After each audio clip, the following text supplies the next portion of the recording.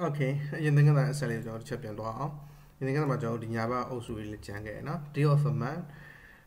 no leading zero day of the month ကိုရခြင်းကျွန်တော် D နဲ့ယူတာမိတ်ဆွေတွေဘက်မှာဘယ်ဘက်မှာတွေ့ခဲ့တယ်အခုက J နဲ့ယူလို့လည်းရရတယ်။ D နဲ့ J နဲ့ကွာချက်က D ကကြတော့ day of the month မှာသူက leading 0ပါတယ်။မ D နဲ့ယူကြည့်ကျွန်တော် leading 0ပါတဲ့အတွက်ကြောင့်ရှီမှာ3ညခံရတာ9ရက်နေ့ကိုရှေ့ရ3ညနေ့နဲ့တွဲပြတယ်။ကဲကျွန်တော် G နဲ့ယူမယ်ဆိုရင်တော့9ရက်နေ့ဆိုရင်လုံးဝ9ရက်ပဲပြနိုင်မယ် refresh လုပ်လိုက်နော်။ and ပြီးတော့ကျွန်တော်တို့က lower l lower l က day of the week သူကကျတော့ date ကိုအပြည့်ပြမှာအဲ့ဒါပြနေတာတခုရှိကျွန်တော်ဒီဘက်မှာတွေ့ခဲ့ပြီးဒီအကြီးကကျတော့ day of the week သူကကျတော့3 letter ပဲပြတာအဲ့တော့ချက်ကြည့်ကြည့်အောင်ကျွန်တော်ဒီအကြီးနဲ့ဒီအကြီးနဲ့ဆိုရင်3 letter ပဲပြနိုင်မယ်တွေ့မလားဟုတ်နော် Saturday ကိုအဲ့မှာကျွန်တော်ကဒီကောင်ကိုပဲတစ်ချက်လောက်တော့ဒီမှာအဒီနဲ့ပဲပြောင်းလိုက်နော်အန်ဒီနဲ့ဆိုရင်တော့ Saturday ကိုအပြည့်ပြရမယ်ဆိုတွေ့လိမ့်မယ်နော် ပြီးရင်ကျွန်တော်က lip g ရဲ့ရက်ထက်နှစ်ဟုတ်မဟုတ်ကိုကျွန်တော်က l အကြီးနဲ့ဖန်လို့ရတယ်ရက်ထက်နှစ်ဖြစ်တယ်ဆိုရင် yes ပေါ့ yes ဆိုရင် true ပေးလိုက်မယ် false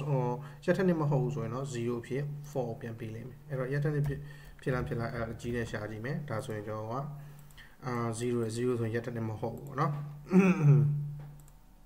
ရှာလို့ရတယ်အများကြီးပဲဗျ m က m အသေးနဲ့ကတော့ month of the year number leading 0နဲ့ပြရမှာ month of the year ကျွန်တော်တို့တွေ့ခဲ့ပြီလား တစ်နှစ်စာရဲ့လမတွေ့ခဲ့ဘူးလေနော်ဒီမှာ m အကြီးနဲ့ m အသေးနဲ့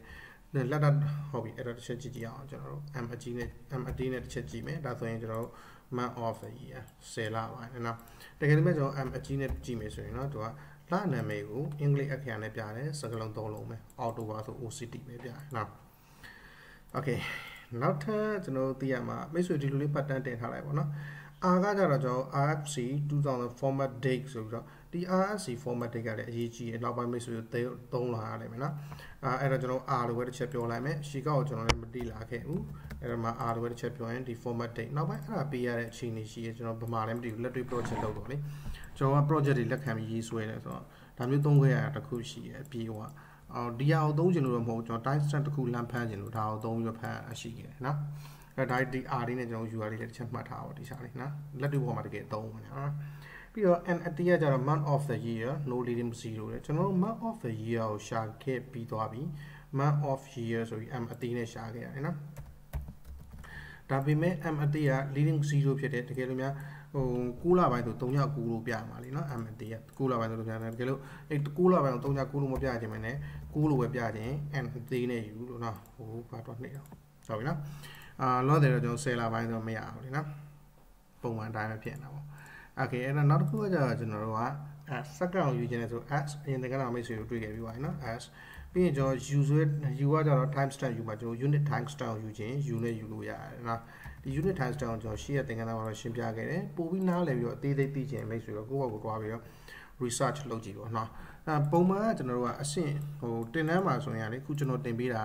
မိတ်ဆွေကြိုက်တဲ့တင်တန်းကြိုက်တဲ့စာအုပ်တွေမှာဖတ်အဲ့ထက်အများကြီးပို့တယ်ကျွန်တော်ဒီ basic ကိုသင်ခန်းစာအခန်း200ကျော်တင်တာလေနော် အသေးသေးအားလုံးပို့တယ်ကျွန်တော်အာမခံတယ်ဒါပေမဲ့အဲ့ထက်ပို့လို့မရဘူးလားဆိုပို့လို့ရတယ်အဲ့ဒါကြောင့် research လုပ်တဲ့အဆင့်ဖြစ်သွားပြီကိုကတအားကျွမ်းကျင်သွားပြီအကုန်လုံးအခြေခံတွေကျွန်တော်အခုသင်ပေးတဲ့အားလုံးပိုင်သွားပြီဆိုရင် research အဆင့်သွားပေါ့အဲ့ဒါပို့ပြီးတိကျပြီးပို့ပြီး data အောင်လုပ်ရတယ်နော် okay အဲ့ဒါကျွန်တော် unit time stamp ကိုယူပြီးသွားပြီအဲနောက်တစ်ဆင့်ကကြတော့ကျွန်တော်က y y year 2 digit အဲ y ကကြတော့ကျွန်တော်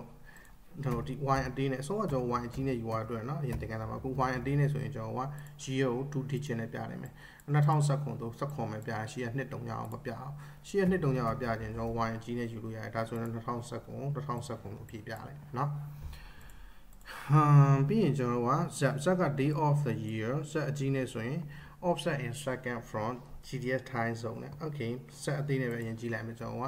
လောလောဆယ်ကျွန်တော်တစ်နှစ်စာရဲ့ဘယ်နှစ်ရက်ရောက်နေပြီလဲပေါ့ဒီနေ့ကအဲ့ဒါဆိုရင်ကျွန်တော် refresh လုပ်ရင်289ရက်ဖြတ်တန်းပြီးသွားပြီ365ရက်5 or 48 minute 46 second ထင်တယ်အဲ့တစ်နှစ်က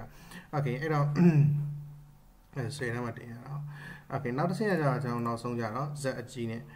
အာ GMT တိုင်းဆုံးနဲ့ Greenwich time စံတော်ချိန်ကိုပြောရတာမလို့ GMT ဆိုတော့ Great Fitting နဲ့မဟုတ်ဘူး Greenwich စံတော်ချိန်ကိုပြောရနေမှာထားလိုက်ပါနော်အဲ့တော့ GMT တိုင်းဆုံး plus 5ဆိုရင် um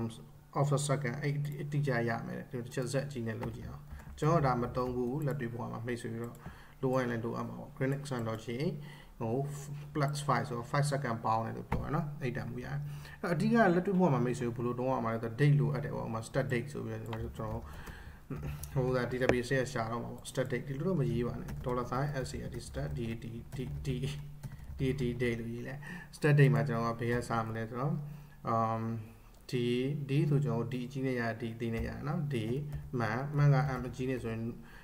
ဘယ်လိုပဲပြမအောင် m အကြီးနဲ့ဆိုရင်ကျွန်တော်နှလုံးပဲပြမှာလေနော်အခရာနှလုံးပဲဒီမှာ m အကြီးနဲ့ဆိုရင်3 letter ပဲပြမှာ sorry 3လုံးပဲပြမှာနော်ဒါပေမဲ့အဲ့တော့ m အသေးနဲ့ u ပြီးရင်0ပြီးရင်ကျတော့ကျွန်တော်က hour ပြီးရင် minute ပြီးရင် second ပေါ့နော် အဲအဓိကတော့အဲ့လိုယူရအများဆုံးယူရတယ်ကျွန်တော် database တန်ဖိုးထည့်ပြီးဆိုရင်နော် time stamp နဲ့ variable date ကိုမမှတ်မိမသိဘူးဖြစ်နေတယ်အဲကျွန်တော် stat date လို့ပြောထားတာ stat date ကိုဖြည့်ထုတ်ခိုင်း date ကိုဖြည့်မထုတ်ခိုင်းနဲ့လို့ရအောင်နောက်ပိုင်းကျွန်တော်မိတ်ဆွေ database ထဲမှာ time stamp မှာ local host ထဲမှာကျွန်တော်လာပြီးတော့ time stamp တစ်ခုတည်ဆောင်မယ်ဆိုရင်ဒါလေးကိုကြာကြာတယ်အဲ့တော့ကျွန်တော် BM မှာကျွန်တော်တို့ user တွေ register လုပ်တဲ့အခါအမေရှိကိုကျွန်တော်မပြလဲရအောင်နော်ဒါမှပြလဲပြန်တာမရှိဘူး password တွေကျွန်တော် encode လုပ်ထားတယ်နော် အဲ့တော့ဒီမှာကျ data time stamp ကိုတစ်ချက်ကြည့်မယ်ဆိုကျွန်တော် hour minute second on day map year year map day နဲ့ထည့်ထားကျွန်တော်ဟောနော်ပြီးရင်မှာကျတော့ hour minute second hour တော့24 hour format နဲ့ကထားထားတယ်နော်အဲ့တော့လက်တွေ့ပေါ်မှာတဲ့နေလို့ပါတယ်ကျေးဇူးများတင်တဲ့ wifi ကိုတော့ sandy